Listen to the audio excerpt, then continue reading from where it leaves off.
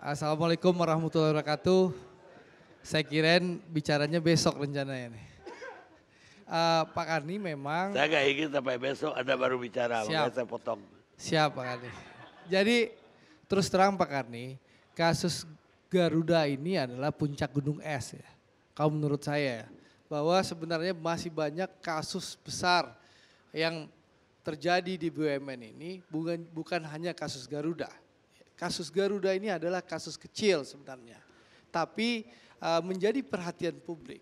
Nah, terus terang kami mayoritas di Komisi 6 sangat uh, mendukung dan mengapresiasi langkah tegas yang dilakukan oleh Pak Erick Thohir dalam rangka mengambil tindakan tegas ya Harapannya seperti apa? Dengan tindakan cepat dan tegas, Pak Erik ini bisa memberikan shock terapi kepada seluruh BUMN-BUMN yang ada. Agar direksi-direksi BUMN jangan pernah melakukan penyalahgunaan kewenangan atau kekuasaan di BUMN yang mereka pimpin. Harapannya seperti itu. Nah, Pak Karni, saya mendengarkan cerita awak kabin, kru tadi. Jadi ini PR banyak nih Bang Arya Mudah-mudahan Pak Erik juga tonton.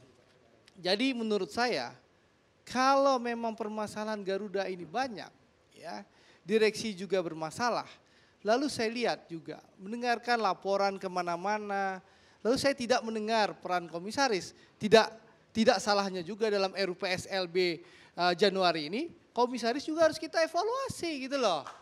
Jadi bukan hanya direksi, tapi juga komisaris jangan tanggung-tanggung untuk melakukan perubahan di Garuda. Supaya pembenahan di Garuda ini bisa dilakukan secara komprehensif. Itu soal Garuda. Jadi sekali lagi menurut saya ya, saya tidak ingin kasus Garuda ini ya merusak citra uh, Garuda sebagai flag carrier kita, itu yang pertama. Yang kedua, kita juga tidak ingin saham Garuda turun terus karena ini saham kepunyaan negara kita. Dan harapan kita setelah malam ini kasus Garuda ini bisa kita close karena tindakan pemerintah sudah sangat tepat dan cepat ya. Sekarang Dirjen Bea Cukai sedang terus melakukan investigasi untuk penyelidikan. Kita tunggu aja hasil penyelidikannya. Lalu yang kedua, Menteri BUMN sudah menggunakan kewenangannya di Undang-Undang Nomor 19 tahun 2003 ya, bahwa beliau berhak mengangkat dan memberhentikan direksi dan komisaris. Dan direksi Garuda itu adalah orang yang diangkat oleh uh, Kementerian BUMN. Kalau tidak puas silahkan Anda PTUN. Jadi tidak kita tidak usah berdebat lagi di forum-forum ya untuk saling membela. Kebijakan sudah diambil. Nah harapan saya yang tidak puas silahkan di PTUN kan saja Pak Erick Thohir ini. Atau uh, berkirim surat ke Pak Erick Siapa tahu dipanggil oleh Pak Erik. Nah, saya berharap Bang Karni ini kesempatan yang baik ya. Momentum satu dua bulan Pak Erik ini adalah rang, dalam rangka bersih-bersih BUMN.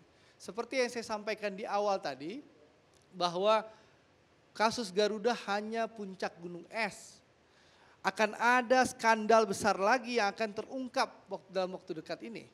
Ya, dalam dalam ILC ini saya sampaikan, Pak Karni, ada kasus Jiwasraya mega skandal yang lebih besar dari Senturi. Ya, kami kemarin Kamis, ya, minggu lalu sudah menerima nasabah Jiwasraya di Komisi 6 DPR RI. Mereka melaporkan 16 triliun uang mereka tidak bisa ditagih ke Jiwasraya. Ya, bahkan kita baca laporannya, Bang Arya, ya, triliun triliun 3, triwulan 3 2019, ya, utang Jiwasraya itu sudah 49 triliun.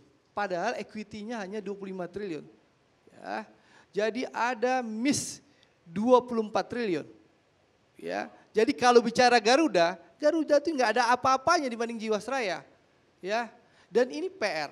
Tapi saya juga mau fair juga, mau mengapresiasi bahwa sebenarnya Pak Erik sudah bekerja ya dengan dorongan kita untuk melaporkan kasus Jiwasraya ini ke Kejaksaan Agung. Proses hukumnya berjalan Bang Karni. Tapi ya kami di Komisi 6 ingin meminta langkah konkret dari Kementerian BUMN.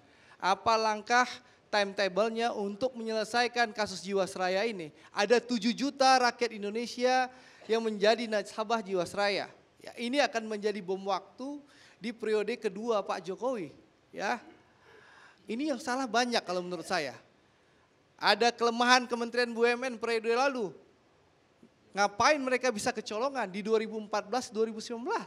Ya. Ada mungkin kecolongan OJK. Digaji besar, dapat anggaran besar. Kenapa membiarkan proses uh, investasi ini terus berjalan? Dan juga mungkin direksi Jiwasraya yang lama. Ini harus diinvestigasi Bang Karni. Banyak sekali masalah BUMN bukan hanya Garuda. Ini PR besar kita.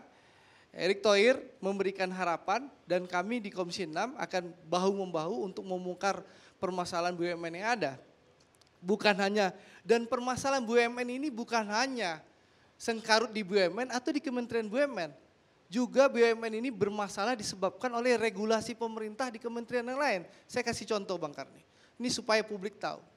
Misalnya, Semen Indonesia, ya perusahaan semen nasional Indonesia milik BUMN ya terpaksa membeli Holcim 27 triliun Bang Karni.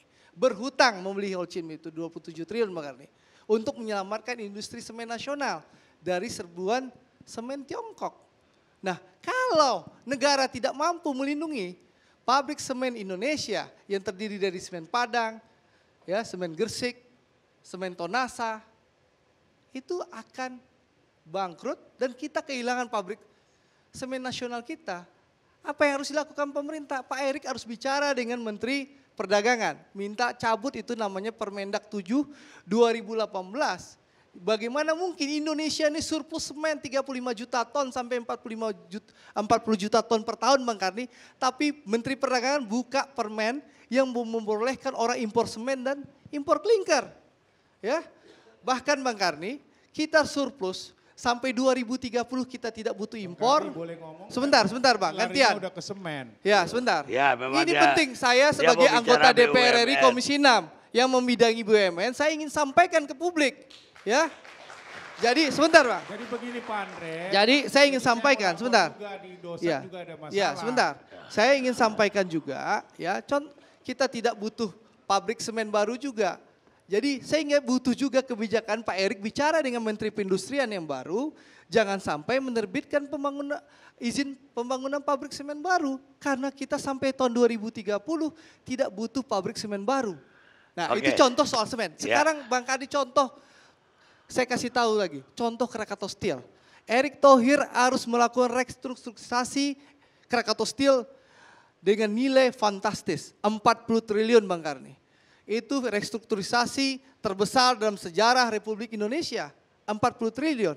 Tapi kalau KS ini kita restrukturisasi dan berhasil kita lakukan, tapi kalau ya ekosistem bisnisnya tidak kita lindungi, ya seperti yang dilakukan periode sebelumnya, bagaimana impor baja dari Cina dipermudah dengan Permendak 22 tahun 2018 yang diterbitkan oleh Menteri Perdagangan era dulu, atau yang lain-lain tidak kita benahi, Krakatau Steel yang dibenahi oleh Kementerian BUMN periode ini pasti akan mengalami kebangkrutan jilid kedua Bang Karno.